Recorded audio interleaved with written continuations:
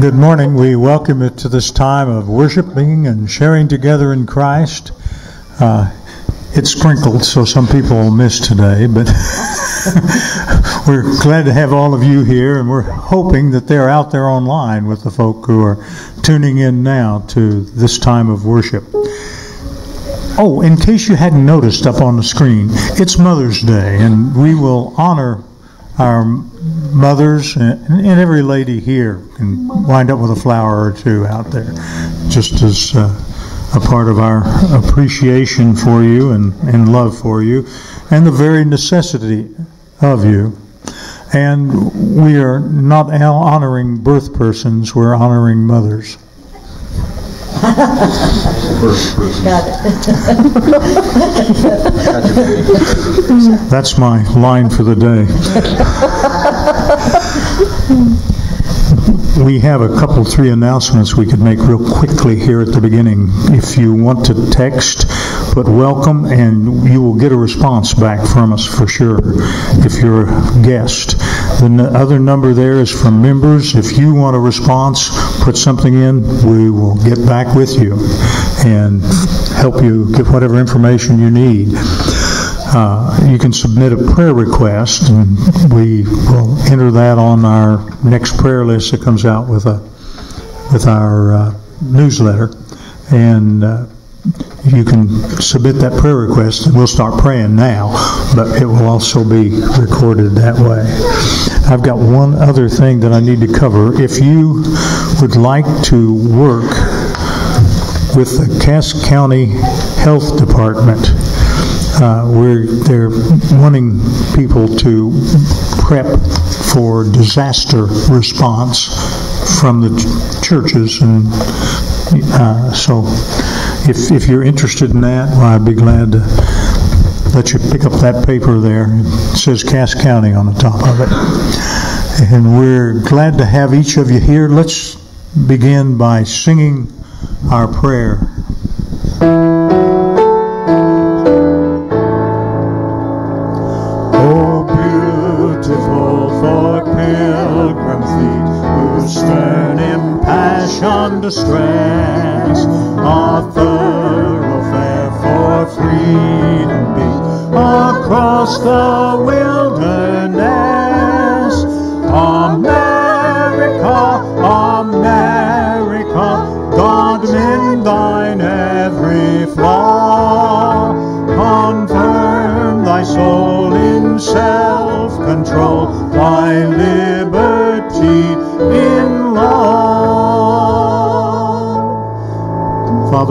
To you praying for our country at this time. Bless us. Help us to walk in liberty, to walk in the law, to be strong for you, and to lead the nation back to the God who blessed its founding. Bless us again, Father. We pray in Christ's name. Amen. This one, I'm going to sing the first line, and you repeat the line back at. So you can't say I've never heard it, because you'll have just heard it after I sing the first line.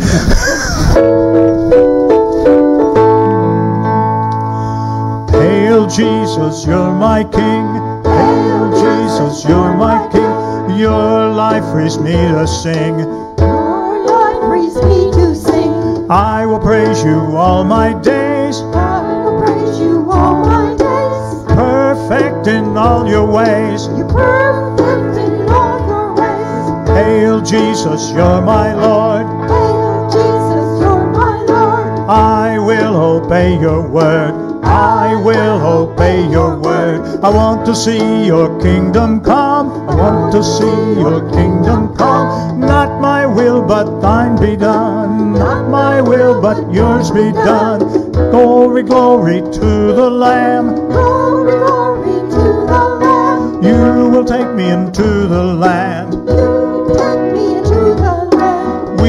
Conquer in your name We will conquer in your name. and proclaim that Jesus reigns. And proclaim that Jesus reigns. Hail, hail, Lion of Judah. Hail, hail, Lion of Judah. How powerful you are.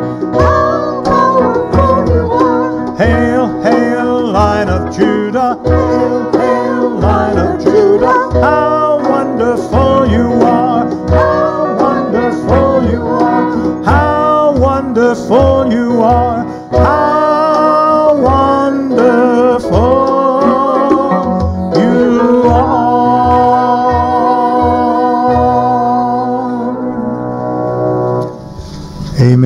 He is wonderful.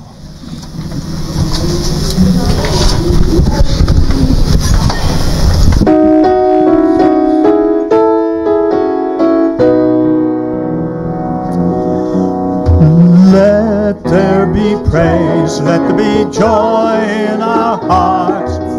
Sing to the Lord,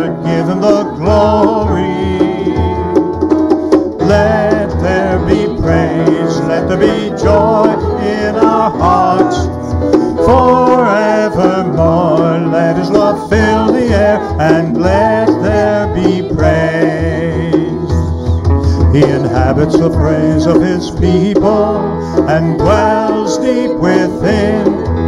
The peace that he gives none can be equal. His love it knows no end. So lift your voices with gladness sing.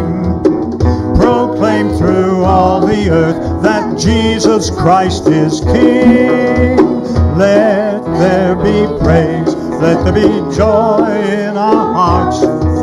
Sing to the Lord, give him the glory. Let there be praise, let there be joy in our hearts. Forevermore, let his love fill the air, and let there be praise. Amen. We'll just continue praising him right now.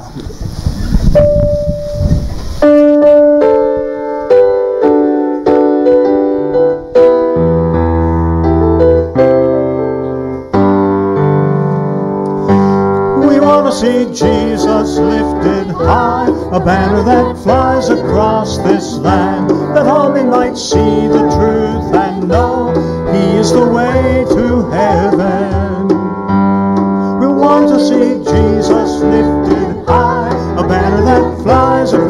This land, that all men might see the truth and know He is the way to heaven. We want to see, we want to see, we want to see Jesus lifted high. We want to see, we want to see, we want to see Jesus lifted high. Step by step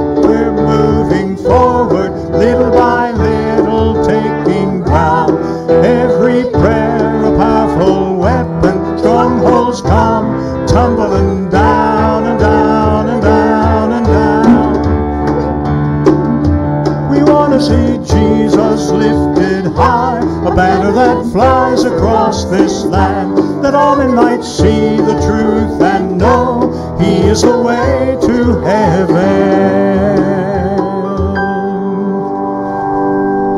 I like that boom, boom, boom drum solo there.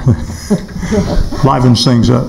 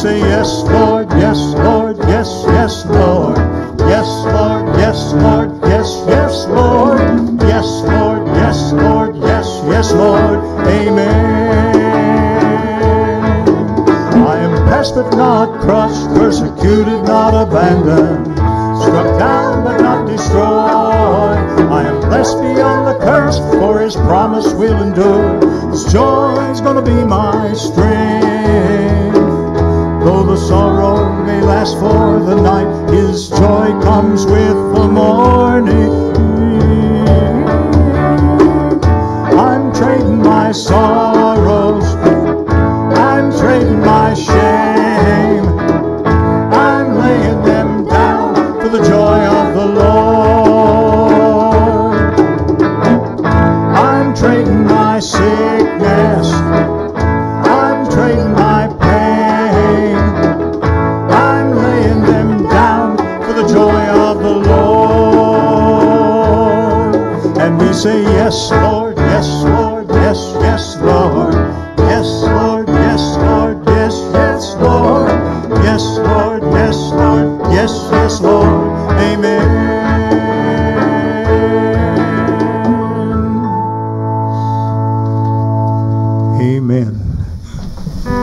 say yes, Lord, is one of the hard lessons in life sometimes, isn't it?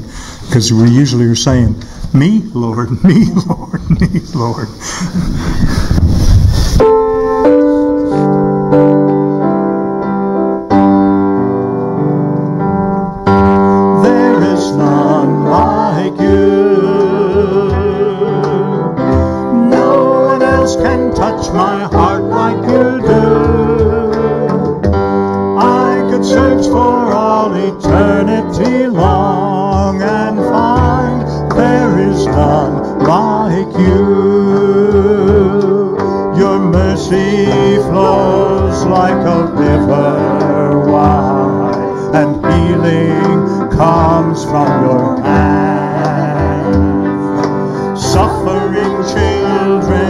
Children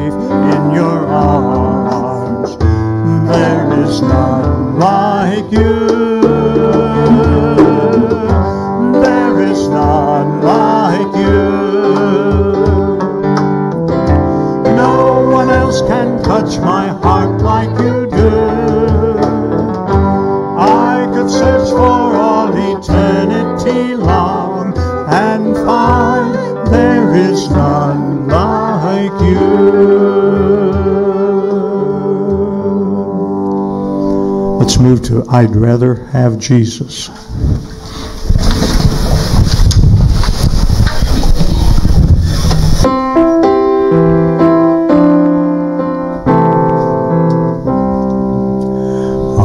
rather have Jesus than silver or gold. I'd rather be His than have riches untold. I'd rather have Jesus than houses or lands. I'd rather be led by His nail-pierced hand than to be the king of a vast domain, or be held in sin's dread sway. I'd rather Jesus than anything this world affords today. I'd rather have Jesus than men's applause. I'd rather be faithful to His dear cause. I'd rather have Jesus than worldwide fame. I'd rather be true to His holy name than to be the king of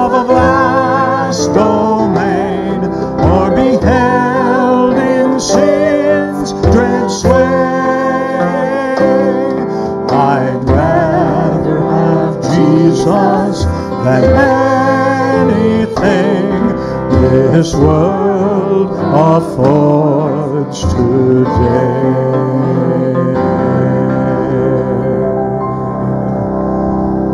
Amen. Thank you all.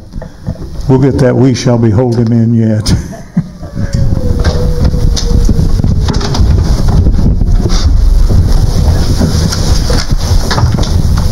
we edit the song service as we go a little bit because we try to have enough to fill the time so that we start the sermon on time for sake of the broadcast, and uh, sometimes it uh, it gets tricky for me, but we, we usually manage to make it pretty well. Don't forget, you can text during the service. Put the volume to nothing on your phone so it doesn't ring through, and you can just text away to us. We'd be happy to have you do that and, and to respond. We're going to talk about two roads and two gates today. Let's have a, a moment of prayer as we prepare ourselves to continue with the Sermon on the Mount. Lord, we stand before you in need, in need of you, in need of your strength, in need of your help, in need of you walking with us every day. Bless us, Father. Lead us in the paths that we should walk in.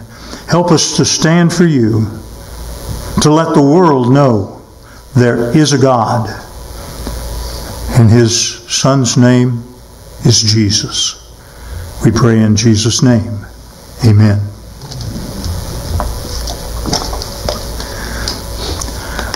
Most of the principles of Jesus' Sermon on the Mount have already been covered now. He makes these principles clear to us in the early stages. At this point, he begins to call for action. It's not enough just to say, well, you need to believe this, this is the way it is. It's only enough if you act upon it. Now, we had last week the last of those teachings and probably the most important one in the whole bunch. It says there, in everything, therefore, treat people the same way you want them to treat you. For this is the law and the prophets. If you want to obey God, that's what you have to do. And it's timely that we looked at that last week because in our country, we're in a mess. And we're in a mess for a very good reason. Uh, somebody did something quite illegal, and at least unseemly, and leaked out what the Supreme Court was working on. Now, I don't back off from what people consider to be political issues if they're moral issues, okay? We're supposed to speak on those, and if you don't have a little Elijah in you, you need to get out of the pulpit. We need to take that kind of a stand. So, Roe may be set aside. What, what does that mean? It doesn't mean much. Not really. It doesn't make a change if they do that. All they're doing is ruling on whether Roe was a legal law or not. That's it. The Roe opened abortion from any time from conception to birth. And that's the way it still technically stands before the court. And that's the way it will continue to stand before the court because we have a federal government. Go read about it. The federal government has limited powers. Guess who's got the other powers? The states and we the people.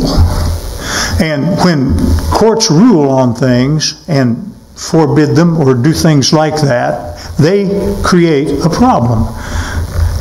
What is to take place now is probably, if this is overturned, we will see legislatures be able to set the standard. And you may have two states side by side who have completely different abortion laws and rules. That's just the way that it's going to come out. But for the first time since Roe v. Wade, we have a say.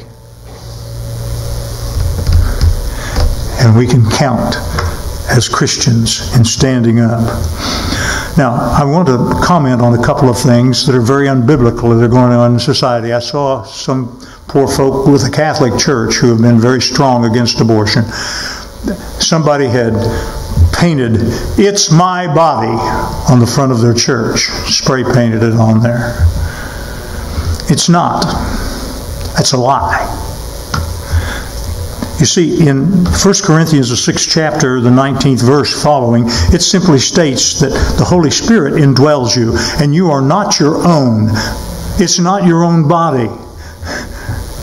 You were bought with a price, the price of Jesus' blood, actually. So that's just not quite right. The text that we studied last week applies to this particular situation in this way. We are supposed to do what? Treat people the same way you want them to treat you. Since there are two beating hearts after six weeks in a woman's body, there are two humans to consider.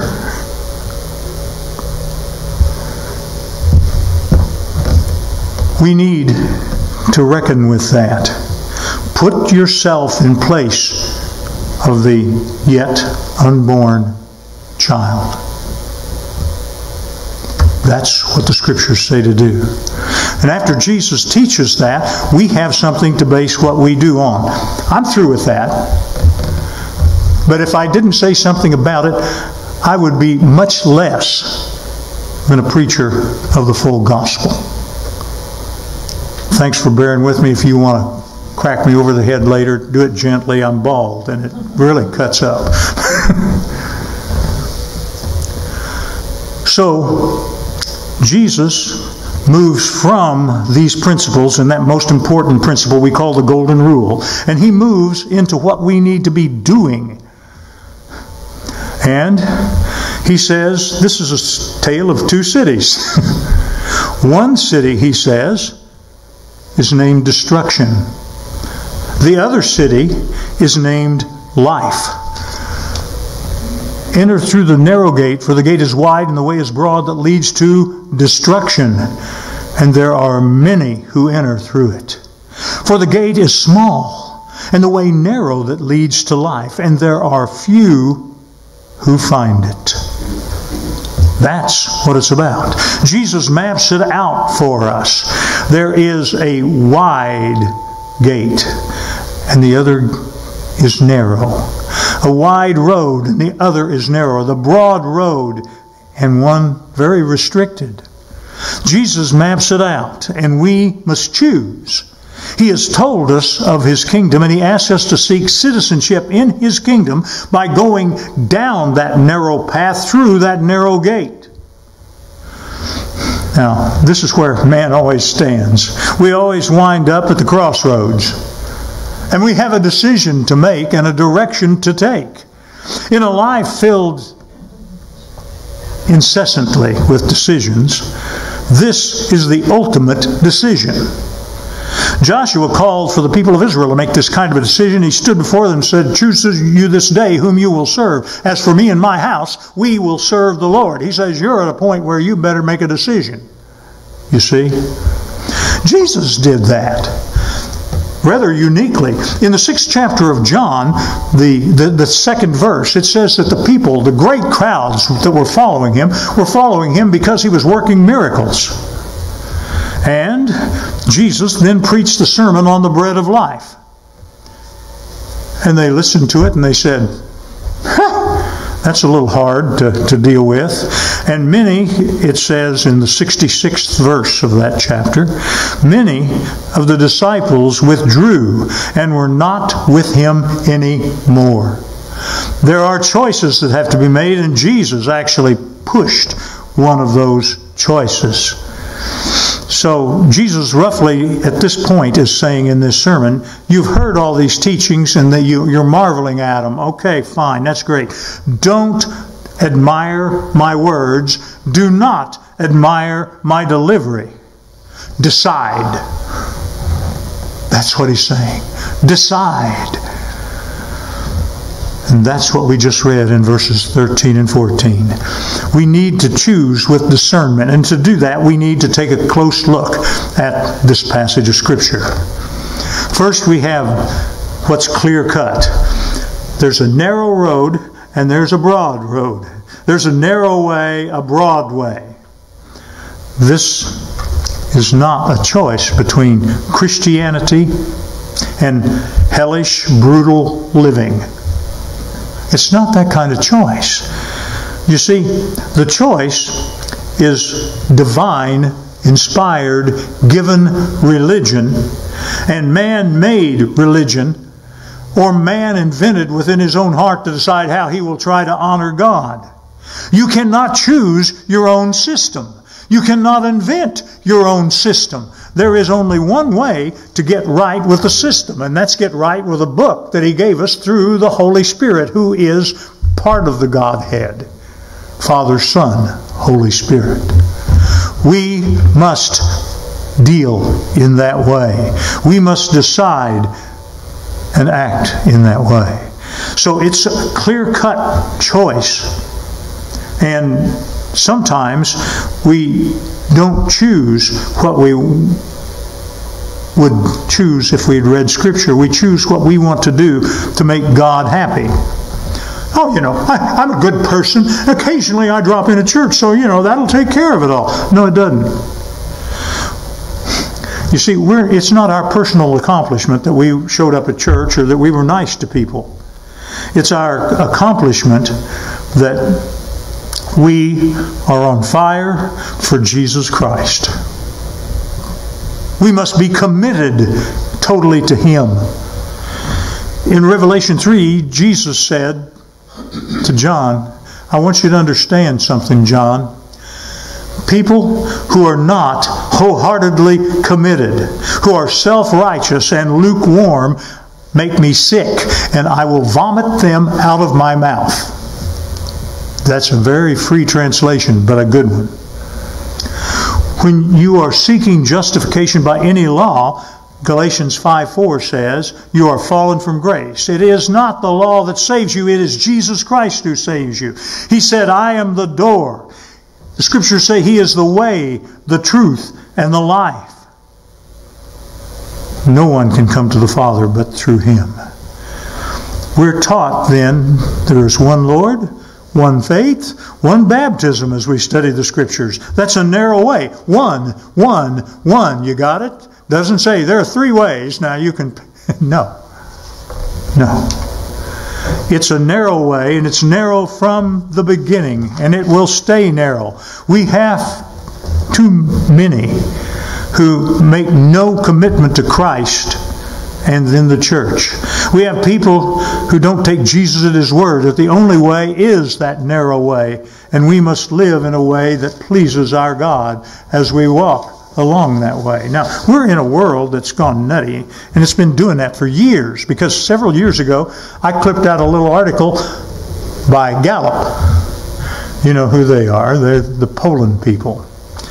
And he found out in a thing that he did on religion in America, he found out that the behavior of the churched and the unchurched over a wide range of items, including lying, cheating, pilferage, you know, that there was very little difference between the ones who said they were Christians and the ones who weren't.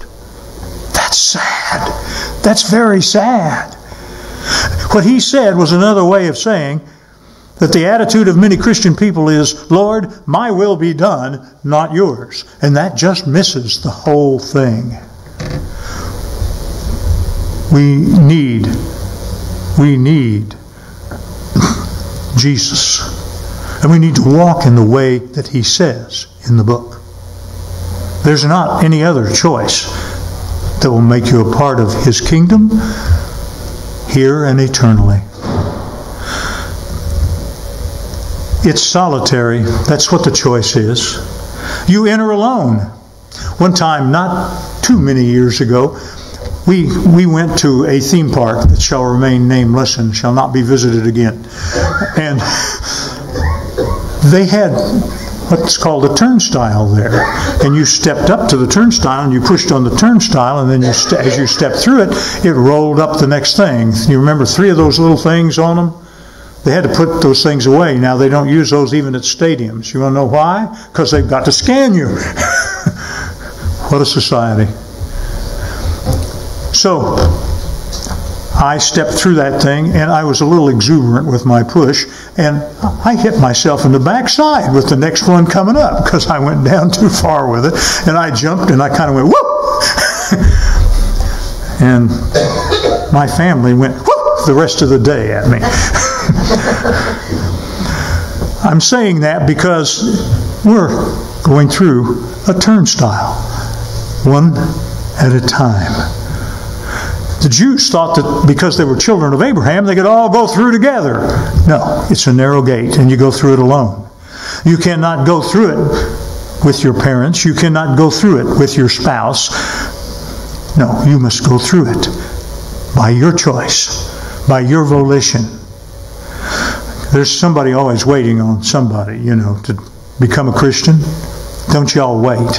Become a Christian, then help the others become a Christian with what you've learned. We can't even get into heaven, and we cannot even get in through that narrow gate if we have a church membership. Because it's not a church membership that saves you, it's the Lord Jesus who saves you, being added to His kingdom church. What's needed? Personal commitment. It's a personal choice. One at a time, go through that. And, you know, there's those people out there in the world that just, they say, Oh, preacher, I, I, I would do something about that, but I've been trying to find myself. Now that's ridiculous. Where would you have lost yourself? But even if you were trying to find yourself, the simple answer is commitment to the narrow one way through Jesus Christ. That'll solve the problems eventually because He'll be involved in the problems with you. We need to be committed to Jesus Christ. We need to become His child. We are unique. We are loved. We are part of a family. We are saved. We are purified. We are heaven bound. And we are not enslaved by sin. We are overcomers regarding to the, the trials of this world. All of this because of our personal commitment to Jesus Christ. All we are comes from that commitment, from that narrow way. Now, why do churches sometimes fail? Because they fail to hold up the narrow way. If you look around the country, you will see major denominations shrinking. It's happening. It was happening before COVID. Don't blame it on that. It was happening then. Do you know why they've been shrinking? Because they forgot about the God of the Bible because they forgot that they belong to Jesus, and that's the choice. They don't have a right to vote on what's right for the church to do. They don't have right to issue edicts from the top of the church down about what people in the church are supposed to do. They only have a right to take out the Word of God and present it and ask people to live by it. That's it. Period. Nothing more, nothing less. There is no structure over us. In fact, when you get that structure over you, you lose your freedom because you have a man dictating to you what he thinks you ought to be doing. And actually, you need to have the Holy Spirit through the Word of God dictating to you what you should be doing. If people are left out of the church, it will be their choice. It will be the directions that they have chosen that have led to that. So, with Jesus, a commitment to Him causes us to put aside all other things. We must have that commitment, and it's your choice. Your choice to make. The choice also is the world or Jesus. They talk about Christian worldview. Have you heard somebody use that term? You have, if you've listened to some of my sermons, because I mention it occasionally. There is a Christian worldview, and then there is a worldview. It's one or the other. There's no happy middle ground. You choose the narrow way, and you move away from this world. You move away from this world and its values. The world lives an utterly empty life, really. And they move from one round of pleasure to the other, and they gain nothing of value, and they gain no satisfaction in that ultimately. What could be gained from the praise of men? What could be gained from living like the world? emptiness abounds. In their blindness, they grope on, and the narrow way is missed. We must enter by the narrow way. We must repent. that means give up ourselves and our ways and accept God's ways. That's what repentance means. It means to turn. Literally, that's what the word in the Greek means. If you want to know a little Greek. The fact is, it's like with a girl who came up to another girl and she said, I understand that John and you are engaged now. And the girl said, Yes. She said, Did you know that he proposed to me first? And the girl said, Well, no, no. I don't think he mentioned that. But he told me that he'd done a lot of foolish things in his past. That's where we are. We've all done foolish things in our past, and we all need to repent of our sin. We must not be doing what everyone else is doing. We must, must not be believing what everybody else is believing. We should be different from the world. Our lifestyle will not be popular. The young people's cry, everybody's doing it, doesn't hold up. We won't conform. We won't fit in, consequently. We live as a rebuke right in the face of the world as we serve the Lord. Romans 13, 14 says, But put on the Lord Jesus Christ and make not provision for the flesh to fulfill the lusts thereof. You see, that's where you're getting in trouble with sin, when you have the lusts working. There was a father who told his kid, said, Don't go in the river swimming, at least for now, it's just not safe. The water's up, it's, it's not safe. Don't go to the river swimming. Next day, here came the kid home with his swimsuit wet. Father said, Where have you been? He said, Swimming in a river. Didn't I tell you not to swim there? Yes, sir. Why did you? Well, I had my bathing suit with me and I couldn't resist the temptation. And he said, Why did you have your bathing suit with you? He said, Well, so I'd be prepared to swim in case I was tempted. and sometimes that's the way people deal with temptation in their life. Too many of us expect to sin put on the Lord Jesus Christ and make not provision for the flesh to fulfill the lusts thereof. We are spirit filled and our deportment must be different from the world. The spirit of worldliness must be gone. Spurgeon said this You and your sins must separate, or you and your God will never come together choose the world or choose Jesus. It is a choice. And it is a costly choice. Some people sell the idea that the church is easy. They sell the idea that being a Christian is just really simple. It is empowered by the Holy Spirit. It is blessed by God, but it ain't easy, people. Christ is too honest to invite us to follow him in that way. He uncompromisingly states that it's a narrow way. And to walk in it means that we have to take up our cross and follow him. To walk in it means that we must have humility. It's a little wonder that many people don't find that way. They're looking for the easy believism that a lot of churches say. Raise your hand and you're saved. Don't you think that you're saved because you raised your hand? Don't think you're saved just because you said a couple of words that were right. Because if you do not hear the word of God and do it, that's what Jesus is talking about. You have no place in the kingdom of heaven. All who live godly in Christ Jesus will suffer persecution. Jesus walked away with suffering We are going to suffer because we don't look like and live like the world. It's costly to become a Christian. Do we suffer? Blessed are those who are persecuted. Jesus just told us that in, in the fifth chapter. Blessed are those who are persecuted for righteousness' sake, for theirs is the kingdom of heaven. Jesus said we must give up earthly relationships, we must put them second. You can't take holidays from the spiritual life.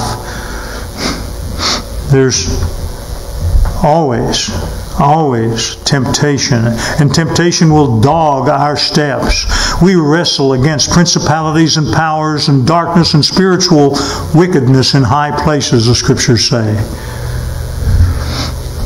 We must strive and agonize over this. They describe this life as a gut wrenching race. The long distance that you're going to run until you finish it. A fight, a war, if you please. Satan started the lies about easy Christianity. There isn't any easy Christianity. There are people who come to church and try to find that easy Christianity.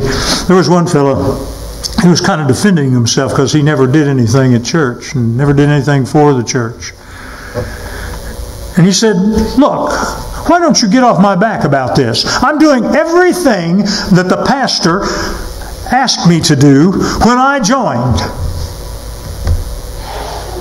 When I joined, the pastor took my hand and said, Have a seat, please. And I did.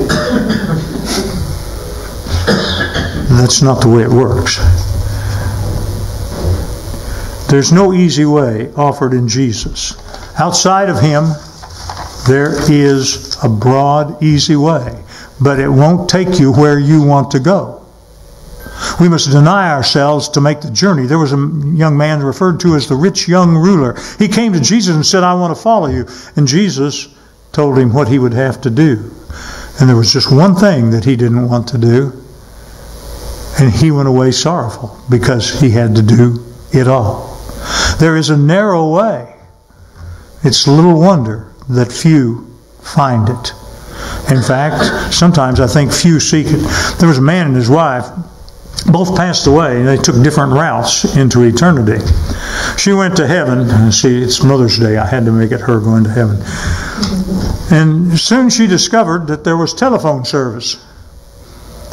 So she put in a call to her husband, and he was in the other place. And she said, how do you like it down there? He said, Oh, it's not too bad. I have to wear horns and a red suit and shovel some coal, but only have to work two hours a day. How are you doing up there? She said, My goodness, we, we get up at 4 a.m. together in the stars, and we have to haul in the moon and hang the sun, and all day long we're rolling clouds around. He said, How come you work so hard? She said, Well, tell the truth, we're short handed up here. And that is the way. Few there be who find it. We have a destiny. We have a place then that we're going. Our choice is our destiny. Both paths that we've talked about lead somewhere. No one starts down a road without knowing where it leads. Except on occasional trips when my navigator got me on the wrong place. or sometimes I got on the wrong place. Don't ever let them tell you the story about Copan, Oklahoma. That's where I wound up from back roads when I thought I had a shortcut to get someplace I was going. My family makes that come to life regularly. No, my friends, if there's a broad interstate going the wrong way, don't take it. Because it's better to be on a narrow path that takes you where you want to go. The Broadway looks inviting. No rules. You can go with the flow. Do you know who goes with the flow? Dead fish. There seems to be a way that might be right in man's eyes, but the end thereof is death, the scriptures say. There is a constricted, pressed together, narrow way. It could be translated any of those ways, but that leads to life.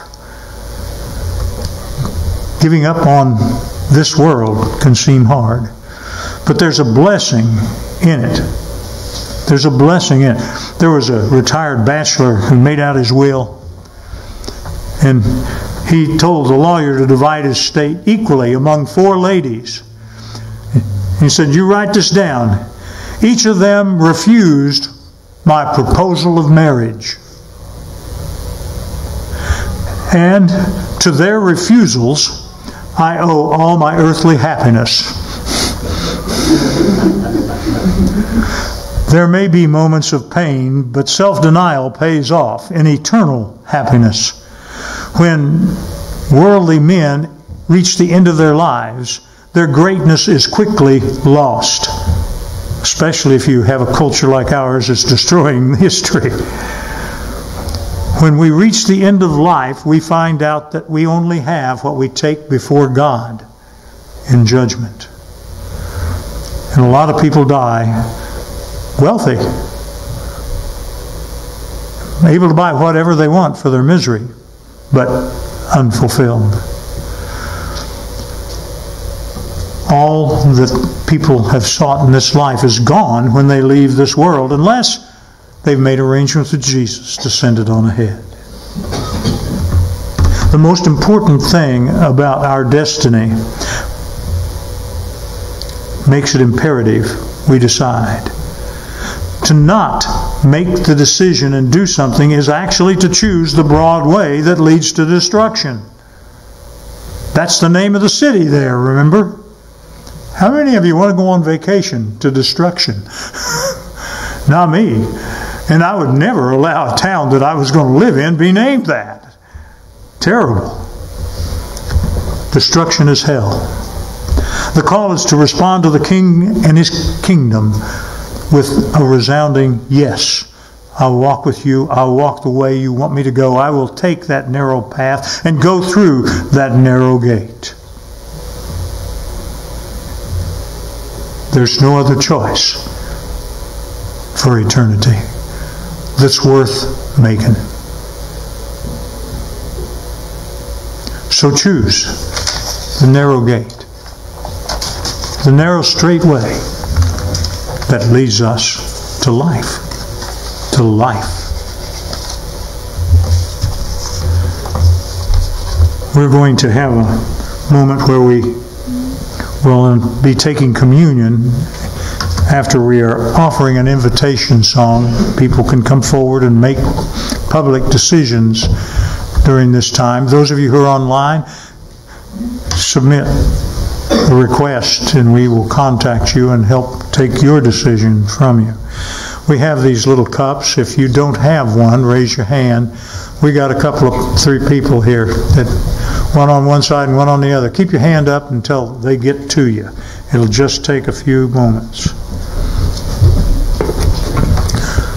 We're going to meet around the Lord's table right after we have this time of invitation. We will be singing, Fill My Cup, Lord. It's a surrender of life.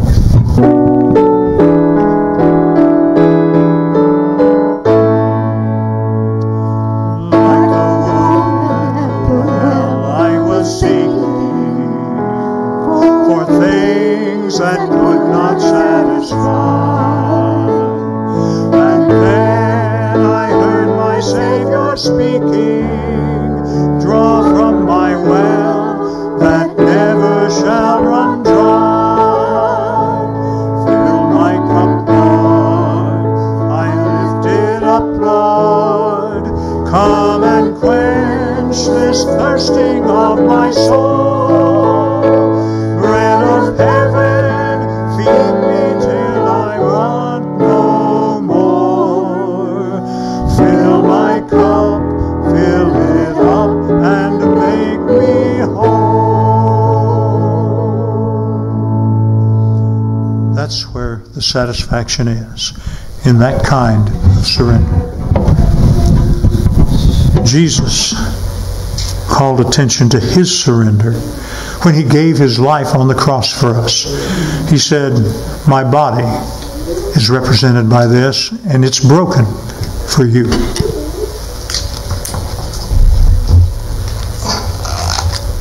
And then he took the cup and said, This cup represents the new covenant, the agreement between you and God that's made in my blood.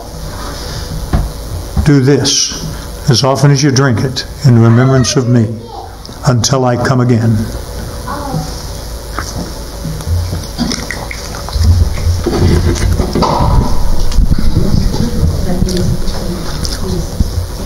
I would remind you that there are flowers out there for every mother and every lady. And if you're a young lady, you can still get a flower or two. It's okay. We call you um, mother probably in the future anyway. So we want you to be honored by that. Uh, I don't want to say very much about it, but I just want to say a word about mothers. Uh, there's a story I read once, and the story was about a man who kept saying, "Why, why don't I have an angel to help me get through life?" Have you read that? And what it comes down to each time is, I gave you a mother to be that angel. Sometimes there are people who act as, that, and we definitely want to honor them today. So, mothers, happy Mother's Day. God bless you. Would you lead us in prayer, brother? Just come right over. I, I don't know how far that microphone will go. You need to step up, I think. It's an honor for me to pray today on this special day. As you all know, and we've heard several times, this is Mother's Day. What would we do without our mothers? Mothers have helped families together forever. When I was a kid growing up, they used to say, a man works from sun to sun, but a woman's work is never done. And that's just about the way a mother is. She's usually the first one up and the last one to go to bed. Mothers are special. We could never thank them enough for all they've done for us. Lord, we thank you that you have sent mothers to us, that you we couldn't be born without mothers, Lord. But Lord, thank you for choosing the mothers that we have. As you have said, I knew you before you were in your mother's womb. You knew who our mothers were going to be long before we were born, Lord. And we thank you for sending us special mothers. Lord, be with us now. Forgive us where we fail thee. In your Son, Jesus Christ's name we pray. Amen.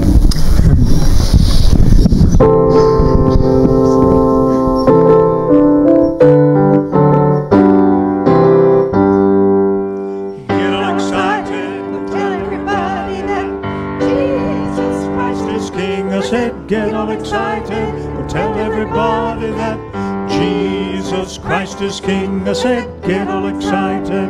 Go tell everybody that Jesus Christ is King.